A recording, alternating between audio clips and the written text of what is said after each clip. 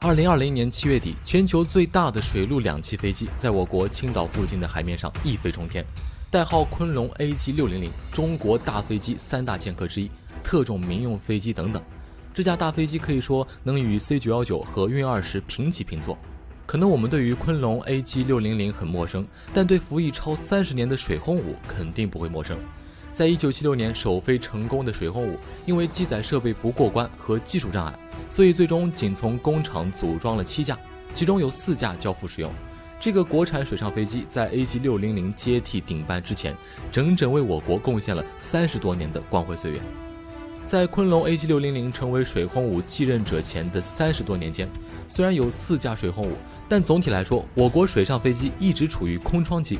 机型单一老旧，规模极小，远海搜救领域短板，森林灭火能力欠缺。因此，在国内水上飞机市场需求的刺激下，昆龙 AG 六零零研发项目就这样被提上日程。其诞生能与 C 九幺九运二十比肩而立，自然不是随口胡来。最大航程可达五千三百千米的 AG 六零零，可以以五十米的低空飞行执行远程搜救任务，以及在二十秒内吸取近十二吨水应对突发的森林火灾，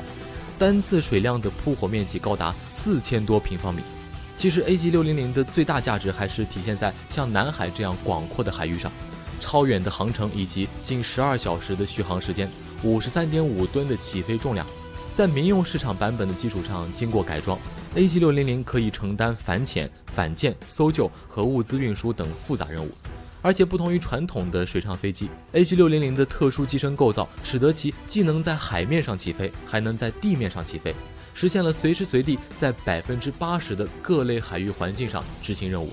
而且 AG 六零零以五百公里的飞行时速，可以在四小时内到达我国海域的最南端——曾母暗沙。价值意义十分重大，但要清楚的是，昆龙 AG 六零零此次试飞是指复杂海上环境的首飞，其地面首飞于二零一七年，水面首飞于二零一八年，分别成功完成。世界上最大的两栖飞机 AG 六零零研制项目的全面展开是在二零零九年，在经过七年的攻关后，二零一六年在总装基地成功下线。二零一七年初，采用国产发动机涡桨六的 AG 六零零。成功在地面通过发动机点火试车，二零一七年的年底在珠海实现地面首飞，而在二零一八年，AG 六零零成功在湖北境内的漳河上完成水面五百五十二分钟的滑行，以及后续极为重要的水面起降飞行。不同于家族另外两兄弟运二十和 C 九幺九分别使用俄制 D- 杠三十 CFM 公司 LEAP 发动机，AG 六零零首发之初就采用单台功率超三千千瓦的涡桨六。这是国产大飞机动力心脏的突破和大胆尝试，高达一百二十万个标准零件，一百五十多家研制单位和上万名科研专家，这些数据共同造就了 AG 六零零全身百分之九十的国产率。